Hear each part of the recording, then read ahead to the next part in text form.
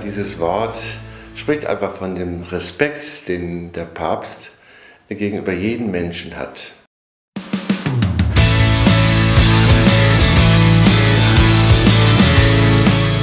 Dieses Wort mischt euch ein von Papst Franziskus. Das hat er den Jugendlichen beim Weltjugendtag in Rio gesagt, 2013.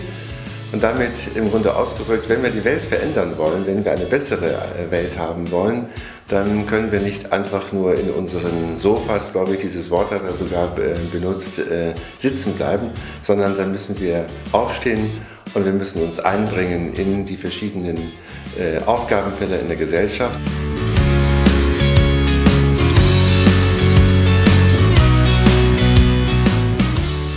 Dieses Wort spricht einfach von dem Respekt, den der Papst gegenüber jedem Menschen hat.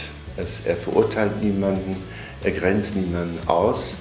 Äh, also den Respekt vor jedem Menschen, ich glaube, das ist ein großes Programm, also für, für, auch für die Gesellschaft, für, für die Kirche äh, und für unser Miteinander. Ich glaube, wenn wir uns gegenseitig den Respekt äh, zollen und schenken, dann müssen wir auch niemanden ausgrenzen, dann müssen wir niemanden zusammenschreien, dann müssen wir niemanden äh, runtermachen, sondern dann bemühen wir uns mit ihm in einem guten Miteinander äh, auszukommen und hinzukommen.